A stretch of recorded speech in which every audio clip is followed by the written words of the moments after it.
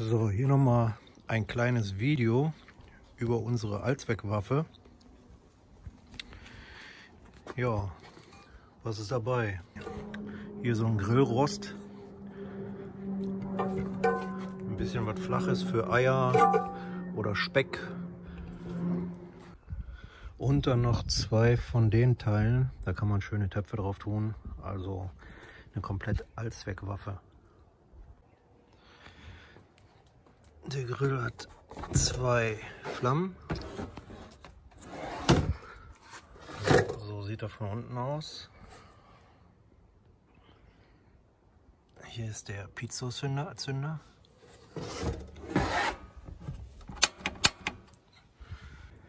Ich habe den Grill ohne Schlauch und ohne Druckminderer bestellt. Das ist die 50 Millibar Version. Ja, dann schließt ihr mal an. Das ist der Schlauch und der Druckminderer.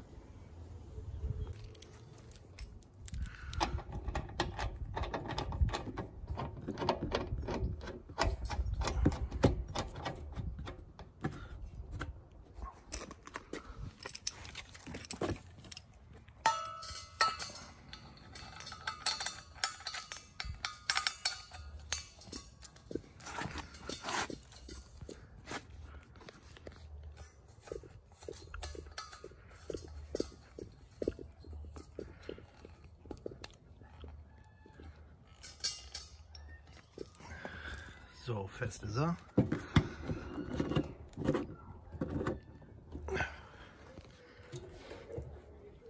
Ja, dann wollen wir mal starten. Ne?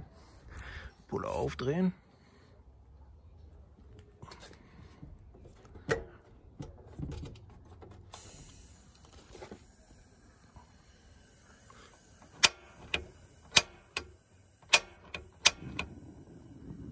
Brennt. Also, warum haben wir uns entschieden, den Grill zu holen? Weil der total easy ist, also leicht zu reinigen, nicht viele Teile, die man reinigen muss, keine Fettauffangschale oder sowas, das ist alles hier inbegriffen, das Fett läuft in den Vertiefungen rein. Man hat gegebenenfalls nur das Teil, was man benutzt, sauber zu machen und mal einmal mit dem Lappen über den ganzen Grill. Und das war's dann auch schon.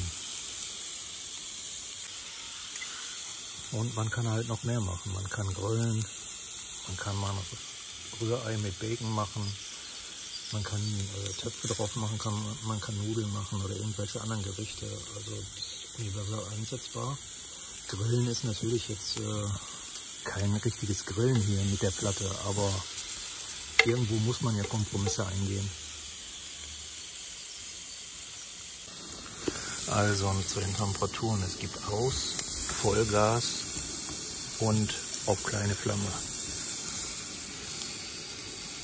Der PC-Zünder, der andere, der Brenner unten drunter.